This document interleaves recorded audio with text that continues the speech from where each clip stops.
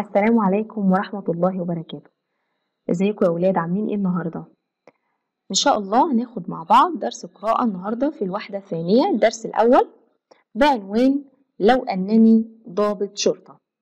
تعالوا يا ولاد أحكي لكم حكاية. كان في أستاذ اسمه أحمد. دخل الأستاذ أحمد إلى الفصل وحيا تلاميذه وهو مبتسم والأولاد ردوا التحية بابتسامة أكبر. طيب تعالوا يا ولاد نشوف سر الابتسامة دي يا ترى الأولاد حيوا بقى الأستاذ بتاعهم بابتسامة أكبر ليه إيه سر الابتسامة دي؟ إيه ده؟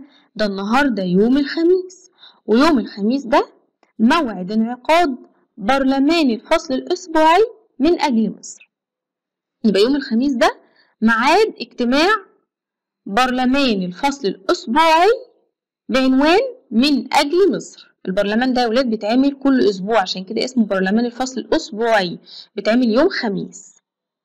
طيب الأستاذ ده قال أنا حضرت ليكم مفاجأة وأخرج من جيبه عدة ورقات صغيرة ورقات دي تصغير كلمة ورقة يعني ورق صغير.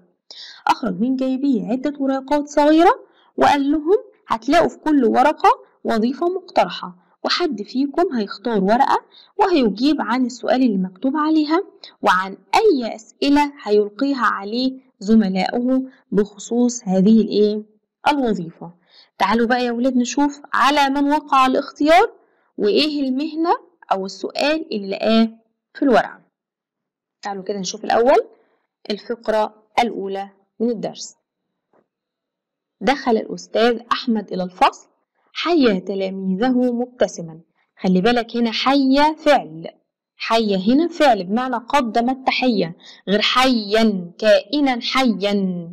كائنا حيا حيا دي يعني عايش. عكس الموت. الحياة معنى الحياة عكس الموت. حيا اسم. إنما هنا حيا تلاميذه يعني قدم التحية وهنا فعل. رد التلاميذ التحية بابتسامة أكبر وجمع أكبر أكابر.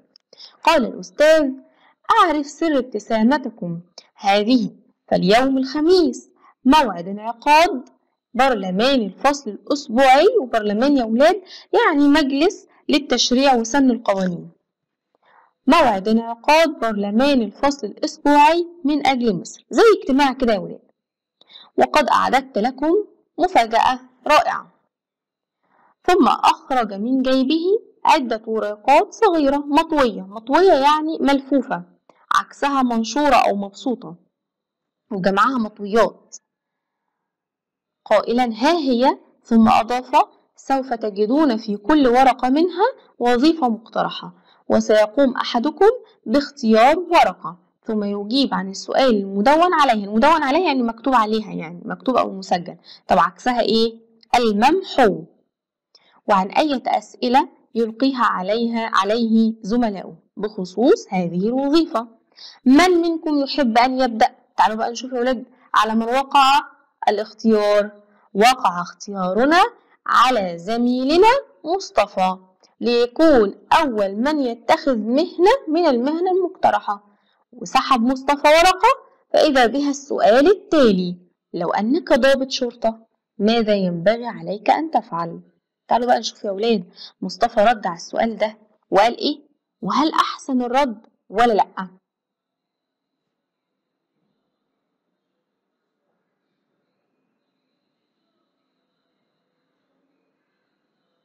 صمت مصطفى برهة. برهة يعني فترة قليلة من الوقت يا ولاد. وبرهة جمعها بره ثم بدأ كلامه قائلا لو أنني ضابط شرطة لجعلت الناس كلهم سواء سواء يعني متساويين سواء يعني متساويين أمام القانون بلا تفرقة أو تمييز. أرد الحقوق لأصحابها وأضبط من يقترفون الجرائم. يقترفون يا ولاد يعني يرتكبون يرتكبون عكسها يجتنبون الجرائم. وأحاول منع حدوث الجريمة قدر استطاعتي. استطاعتي عكسها عجزي. يبقى هنا يا ولاد يجي سؤال ويقول لك ما واجبات ضابط الشرطة كما قالها مصطفى أو كما تحدث عنها مصطفى؟ واجبات ضابط الشرطة إيه؟ يبقى أول حاجة أن يجعل الناس كلهم كلهم يا ولاد سواسية يعني كلهم واحد. ابن الوزير هو ابن الغفير. تمام؟ بلا تفرقة أو تمييز. يبقى أول حاجة يا ولاد هيجعل الناس كلهم سواء يعني متساويين أمام القانون. بلا تفرقة أو تمييز. اثنين يرد الحقوق لأصحابها. ثلاثة يضبط من يرتكبون الجرائم. ومش بس كده. أربعة هيحاول إن هو يمنع حدوث الجريمة قدر استطاعته. يبقى واجبات ضابط الشرطة أربعة كما تحدث عنها مصطفى. تعالوا بقى هنا يا ولاد زميله مص... زميله محمد هيسأله سؤال. تعالوا نشوف السؤال بتاعه. فسأله محمد وإذا مثل أمامك مثل يا ولاد يعني وقف. وإذا مثل أمامك متهم فما موقفك. قول لنا بقى. إذا مثل أمامك متهم فما موقفك؟ أجاب مصطفى. المتهم بريء حتى تثبت إدانته. المتهم بريء. طب إزاي يا ميس المتهم بريء؟ أيوه بريء. بريء طالما الاتهام أو الجريمة ما ثبتتش عليه. يبقى المتهم بريء لحد إمتى بقى؟ حتى تثبت إدانته. إدانة يعني اتهام. إدانة يعني اتهام. عكسها إيه يا ولاد؟ براءة. يبقى إدانته يعني اتهامه. عكسها براءته. يبقى المتهم بريء حتى تثبت إدانته. طب ويا مس بقى إذا ثبت إدانته نعمل إيه فيه نعذبه بقى؟ ونعامله معاملة سيئة؟ هقول لك لأ. إذا ثبت إدانته فهو يستحق معاملة طيبة لأنه إنسان. وعلى المجتمع أن يأخذ حقه دون تجاوز أو قسوة. ما كده كده المجتمع هياخد حقه منه بالقانون. طالما هو هياخد حقه منه بالقانون فمفيش داعي إن إحنا نتعامل معاه معاملة سيئة ونعذبه. ما ينفعش إن إحنا نتجاوز ونبالغ في إيه يا ولاد؟ في معاملة المتهم ده. يبقى هنا السؤال مهم جدا. إزاي ضابط الشرطة يتعامل مع المتهم؟ هرد ونقول له المتهم بريء حتى تثبت إدانته. طب وإذا ثبتت إدانته؟ فهو يستحق معاملة طيبة لأنه إنسان. طب المجتمع يميس هيتعامل إزاي مع المتهم؟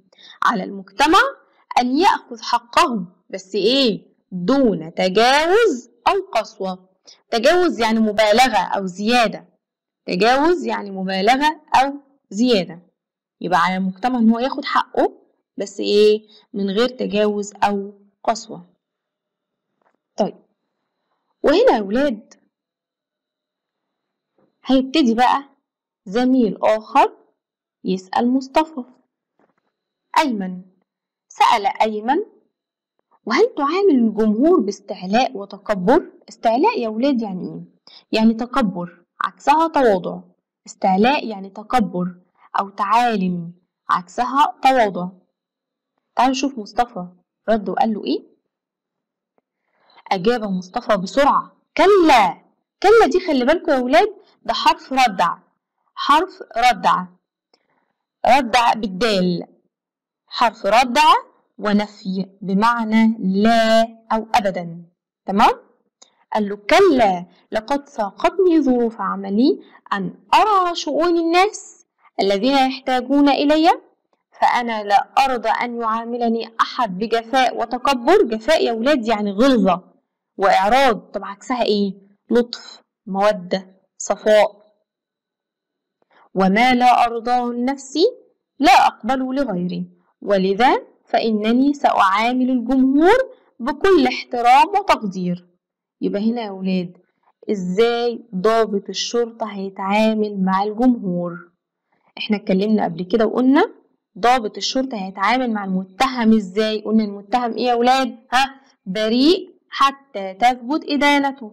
وإذا ثبت إدانته فهو إيه؟ يستحق معاملة طيبة لأنه إنسان. طب المجتمع يتعامل مع المتهم إزاي؟ يعذبه يا ولاد؟ لا طبعا. على المجتمع أن يأخذ حقه.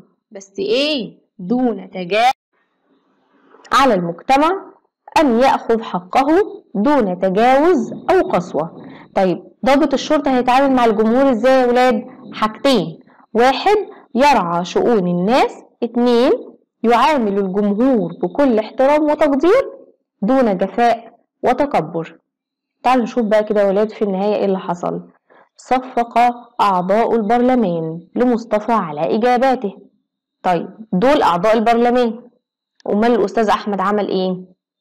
ابتسم الأستاذ أحمد وقال لقد أحسنت التعبير عن قيامك بوظيفة ضابط شرطة بصورة مشرفة مشرفة عكسها مسيئة هنا سؤال ممكن يجي لك يقول لك كان لأعضاء البرلمان والأستاذ أحمد موقف من إجابة مصطفى وضح أعضاء البرلمان عملوا إيه يا ولاد؟ هنقول صفق أعضاء البرلمان لمصطفى طبعا إعجابا بإجابته طب الأستاذ أحمد عمل إيه؟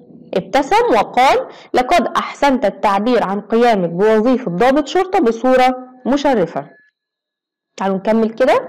ثم التفت إلينا قائلا وأنتم أيها الأعضاء لقد كانت أسئلتكم واعية وممتازة وممتازة. إنني أشكركم جميعا وأعلن نهاية جلستنا اليوم. وبينما نحن نغادر الفصل قالت إيمان محيية مصطفى على سبيل الهزار يعني والضحك يا ولاد كل شيء على ما يرام يا حضرة الضابط. فضحكنا جميعا وعلت البسمة وجوهنا. وهنا يا ولاد علت البسمة علت يعني ارتسمت أو إيه أو ظهرت عكسها اختفت. وكل شيء على ما يرام يرام يعني يطلب أو يراد أو يرغب فيه وهنا ممكن يجي سؤال يقول لك بما علق الأستاذ أحمد على أعضاء البرلمان. مش الأستاذ أحمد علق على إجابات مصطفى وابتسم وقال إنه أحسن التعبير عن قيامه بوظيفة ضابط شرطة بصورة مشرفة؟ طيب إيه تعليقه بقى على أعضاء البرلمان؟ قال لهم إيه؟ كانت أسئلتكم واعية وممتازة. طيب لماذا ضحك الجميع عند مغادرتهم الفصل يا ولاد؟ لأن إيمان حيت مصطفى وقالت له إيه؟ كل شيء على ما يرام يا حضرة الضبط جميل. تعالوا بقى يا ولاد دلوقتي نشوف مع بعض ما الصورة المثلى التي رسمها الدرس لضابط الشرطة. يبقى هنجمع كل حاجة بقى عن ضابط الشرطة. أول حاجة. إنه يجعل الناس كلهم إيه؟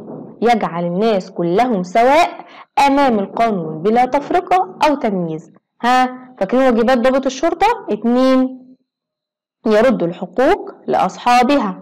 تلاتة. يضبط من يقترفون الجرائم. ومش بس كده ده هيعمل إيه كمان؟ أربعة. يحاول منع حدوث الجريمة قدر الإيه؟ الاستطاعة. طيب هنا مش بيقولك إيه واجبات ضابط الشرطة؟ هنا بيقولك إيه الصورة المثلى بقى اللي رسمها الدرس لضابط الشرطة؟ فهنجمع أكتر من كده. إيه كمان عرفناه عن ضابط الشرطة النهاردة؟ ها رقم خمسة. يعامل الجمهور بكل احترام وتقدير دون جفاء أو إيه؟ أو تكبر. طب وإيه كمان؟ هيعامل المتهمين إزاي؟ معاملة طيبة. هيعامل المتهمين معاملة طيبة لأنه إنسان المتهم ده إنسان. وكده كده القانون هياخد إيه؟ هياخد حق ال ال الإنسان اللي ارتكب فيه الجريمة. خلاص؟ فمفيش داعي إن إحنا نتعامل مع المتهم بصورة سيئة لأنه إنسان. رقم سبعة ضابط الشرطة بيرعى شؤون الناس وبيهتم بيها. طيب وفي نهاية الدرس يا ولاد تعالوا نعرف مع بعض اتعلمنا إيه. أول حاجة إن إحنا نشارك في بناء الوطن ونقدر دور رجال الشرطة في حفظ الأمن. ولازم نعرف إن في كل مهنة فيها الوحش والحلو وما نخلطش الأمور ببعض. عشان أنا لقيت حاجة وحشة يبقى هقول إن المهنة دي كلها وحشة ورجالها وحشين. تمام يا ولاد؟ يبقى نقدر دور رجال الشرطة في حفظ الأمن لأن زي ما في ناس مش كويسة في ناس إيه؟ كويسة وفي أي مهنة مش في مهنة آه رجل الشرطة فقط. اتنين ألا نتنازل عن حقوقنا فلكل فرد في المجتمع حقوق وعليه إيه؟ وعليه واجبات. ويا ريت يا ولاد كل واحد وهو بيدور على حقه لازم يفتكر الواجب اللي عليه.